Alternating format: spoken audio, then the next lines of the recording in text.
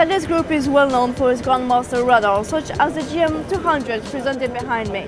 But the big novelty this year is the GM60. Here is Peter Terpstra, who will introduce it to us. Hello, Peter.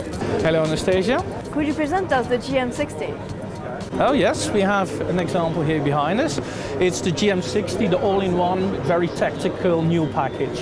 Inside the radar you have everything you need, power generator, radio communications, all of that in a 10-foot container weighing less than uh, three and a half tons. Um, what's the new function, search on the move?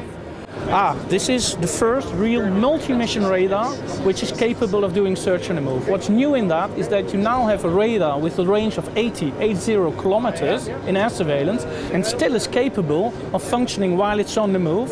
So it is able to protect convoys while they're on the move moving. This is really unique. It doesn't exist until the GM60 we unveiled here is available on the market.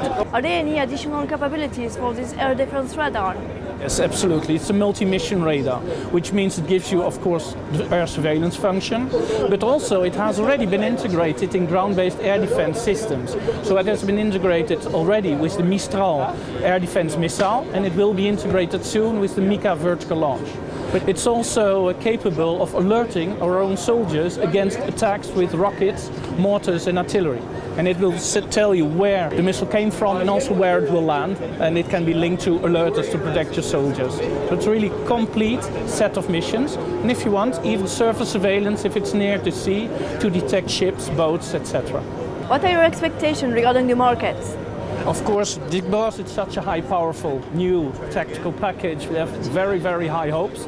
And I must say, the day yesterday with the customers started very, very well. So I think we'll see some new publications in the, uh, in the days or time to come.